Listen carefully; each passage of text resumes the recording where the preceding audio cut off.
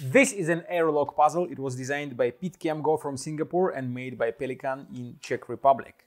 The goal of this puzzle is to put all five parts inside the frame in such a way that there will be no sticking out parts and there will be no parts inside of this opening. So all five parts supposed to be within the frame. But as you can see, there is a restriction. You can't put the parts through these openings. They're too small to fit the parts. The only way to put all five parts inside the frame through this tiny opening. It is a new designer for Pelikan. They never created puzzles by Pit Khiam Goh before, so I'm very excited to try this puzzle. If you like the airlock puzzle, I'll put a link where you can buy it in the video description. If you're lucky enough, it will be still available, but I have a feeling that this puzzle will be sold out very quickly. So now let's try to solve the puzzle. We have five parts.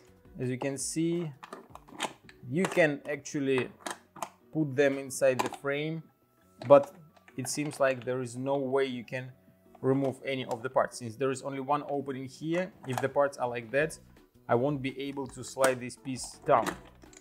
It is possible to put these large parts inside, you just slide it in, rotate a little bit and it is inside the frame. And this piece as well, even though the opening is only like 2 by 1 voxel, but it is possible to fit such a large piece inside. Now I have to find a way how to assemble the parts inside the frame in such a way that I will be able to remove some of the parts. Like this one, I will be able to remove, I guess. Let's see. No, I won't be able to rotate it like that. So this is not the solution. What if I try this? Yeah, if I try like that, I will be able to remove this piece, but there is no chance I can remove any of these four parts. So that doesn't work. There are actually a lot of ways how you can assemble the parts inside the frame if there were no restrictions, but with the restriction, none of this solution will really work. Okay, maybe I can try something like that.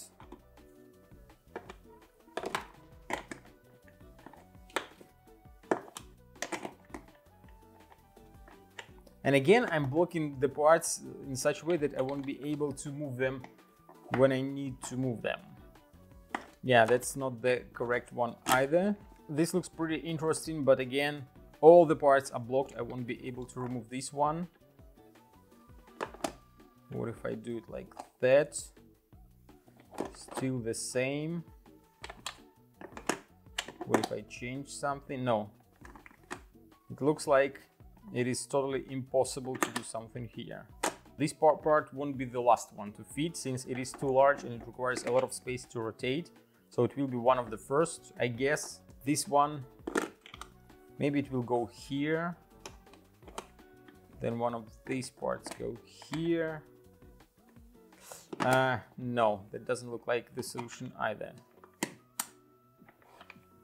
Ah, there is one piece that is kind of extra. If I remove it, I will be able to solve the puzzle. But I still have to find a way how to fit all five parts inside. Yeah, this will work, but this part will be inside of this opening, which is not allowed. All parts supposed to be within the frame. Okay, I'll keep looking.